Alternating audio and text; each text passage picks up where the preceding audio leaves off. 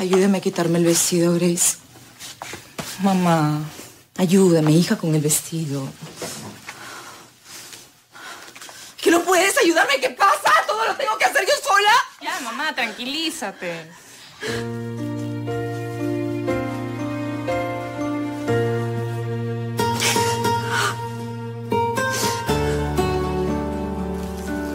¿Por qué nos hizo eso, Grace?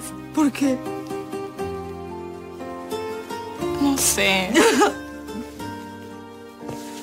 Él era tan bueno. Todo era tan perfecto. Demasiado perfecto para ser verdad.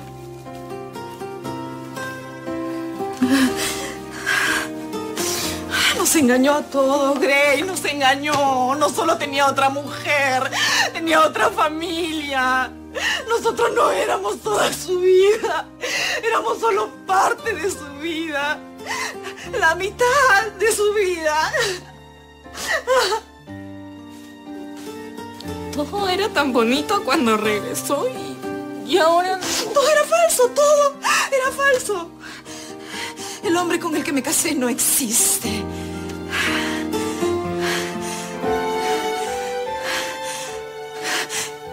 Y pensar que yo... Yo me sentí tan mal, tan sucia, tan sucia cuando me volví a enamorar, pensando que él estaba muerto.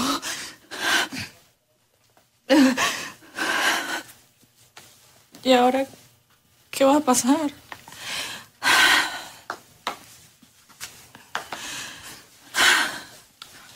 No lo sé, hija. No lo sé. Pero yo no vuelvo a hacer el papel de estúpida. Esta vez voy a pensar en mí primero.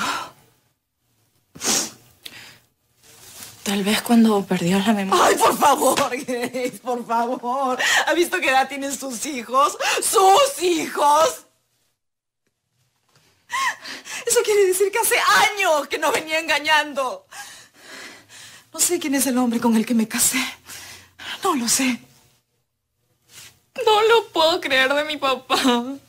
Y claro, seguramente inventó todo lo de la farsa de su muerte para quedarse con esa otra mujer.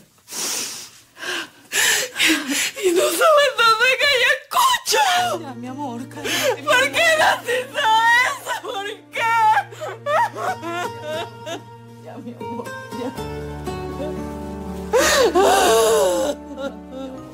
Ven, hijita linda, ven, mi. Tranquila, mi vida, tranquila. Cálmate, mi. Escúchame, mírame, escúchame. Él, él igual es tu papá. No lo olvides nunca. Es tu papá. Y yo no quiero que... Yo no quiero que tú envenenes tu alma con rencor, mi amor. Sí. Sí, pues es mi papá. Aunque sea un farsante.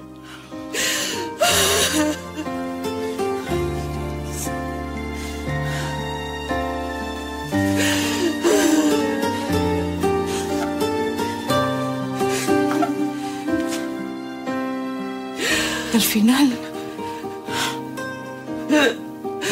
Raúl tenía razón.